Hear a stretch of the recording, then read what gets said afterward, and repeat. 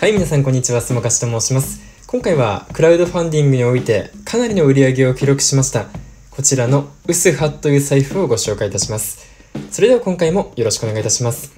まずこちらの財布。送られてきた際にこちらの木箱に入っていまして、包装に関してもかなりのこだわりを感じました。また財布自体のデザインに関しても、こういう縫い糸や留め具、また細部の作りなどを見てみても、すごくおしゃれな、まあ、こだわりを感じる仕上がりになっています、まあ、ご覧の通り武骨な感じは一切ありませんのでこうシンプルなデザインがお好きな方、まあ、特に女性の方にもすごく好まれそうな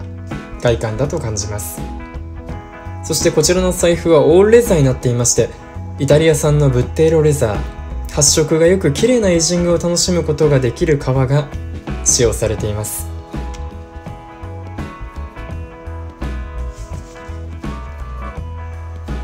まあ、ご覧の通りかなり薄い皮が使用されていますけども、まあ、そこまでチープな印象を受けることはない革質となっています。そしてサイズの方はこのようになっていましてちょうど正方形のかなりコンパクトなサイズ感になっています。一般的な2つ折り財布と比べていますとかなりコンパクトなのが伝わってくると思います。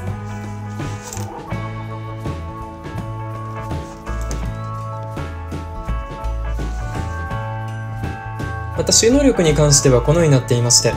このサイズ感でお札を15枚カードを9枚小銭を20枚ほど最大収納することができるようです。開閉はホックで行うことになっているんですけどもホックの位置もかなり特殊でこの部分についていますので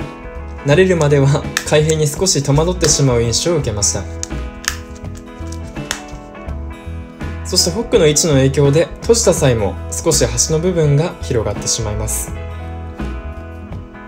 サイドの部分にカードポケットがついていましてお札を開かずともカードを出し入れすることができる優れた作りになっています。そしてこのようにカードの落下を防ぐ仕組みも備えられています。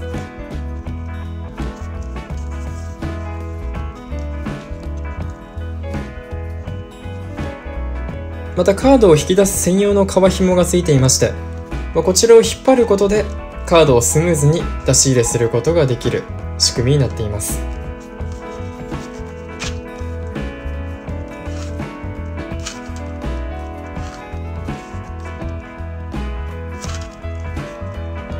財布を開かずともカードが使えますのでこのように素早くカードを取り出すことができます。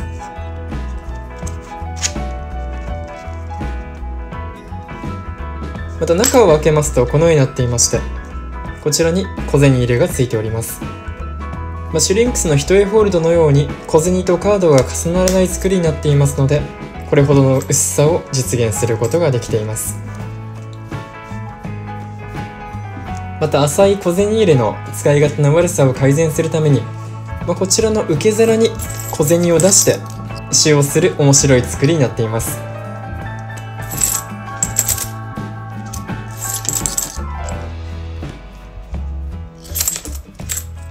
まあ、ご覧のようにジャラジャラと出し入れできて面白いんですけども、まあ、小銭の量が増えますと、まあ、どうしても戻す際に落としてしまう危険がありますので、ま、たくさん小銭を持ち歩きたい方には不向きなデザインかなというふうに感じます、ま、最後にお札入れがこちらについていましてちょうどお札がジャストサイズで入るサイズ感になっています。まあ、ジャストサイズなんですけどもこの奥の部分が縫われていませんので大きく開いてお札をスムーズに出し入れすることができる作りになっています、まあ、ただし一般的な2つ折り財布と同じ向きで取り出してしまいますと小銭がこぼれ落ちてしまいますので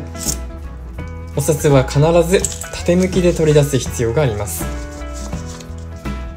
全体的にかなり面白い作りになっていましてデザイナーさんのセンスを感じるデザインとなっています、まあ、ただ普通の財布とはかなり使い勝手が違ってきますので使いこなすまでに私の場合はかなりの時間がかかりそうだなという印象を受けました。また修理に関しては基本的に無期限そして簡単な修理の場合は無料で行ってくれるようですのでアフターケアもかなり充実しているようです。こちらの財布気になる方は概要欄の方にリンクを貼っておきますので後ほどチェックしてみてください。それでは今回も最後までご視聴ありがとうございました。皆さんのコメントや高評価の方お待ちしております。